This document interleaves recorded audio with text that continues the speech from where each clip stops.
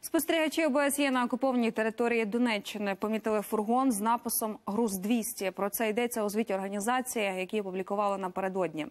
Там сказано, що біля Амвросіївки, що за 56 кілометрів від Донецька, спостерігачі бачили білий фургон, на лобовому склі якого був знак з написом Груз 200 Фургон рухався на південний схід автошляхом, який зв'язує Донецьк з Успенкою неподалік кордону з Росією.